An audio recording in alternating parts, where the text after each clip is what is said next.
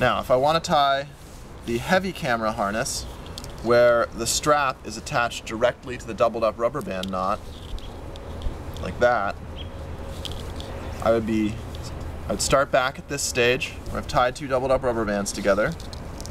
I'd get two more rubber bands for the straps, and then I'd fold this harness in half around the knot, opening up this middle rubber band and the doubled up rubber band and, and holding them tight so that there's a loop pulling the, that I can pull the knot straight out from the harness. I'm then going to tuck a rubber band through that loop, through itself, and then pull it tight directly onto that knot. Like that. Do the same on the other side. So I have half of my harness and I will grab this middle rubber band, open it up, fold it back on the doubled up rubber band, make myself a little loop where I can pull straight off from that knot, tuck my rubber band under and through, through itself, and then pull tight right down on that knot.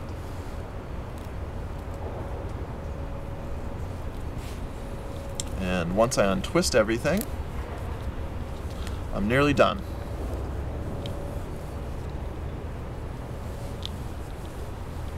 So now I just need to attach two loops to my straps. So again, I'm going to cut two pieces of string off, just about the length of my hand. Measure the first one against the second.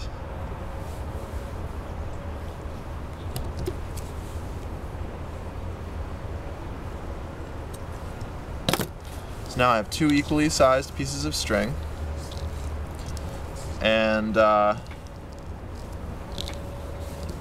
my two evenly sized pieces of string, take the first one, fold it in half, tie overhand knot, tuck the loop through itself, push the knot towards the tassel end. So I have a nice little loop. For my second loop, fold the string in half, tie an overhand knot,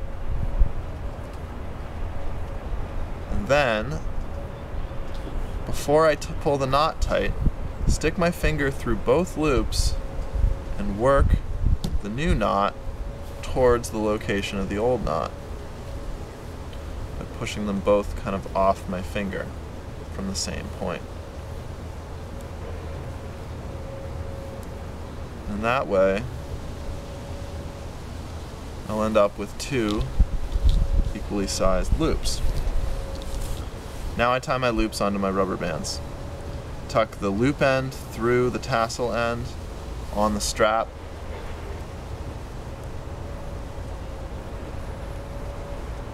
Just like you would a rubber band.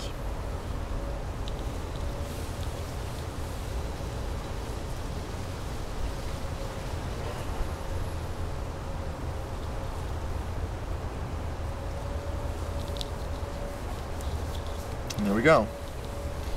Second harness, just like the first.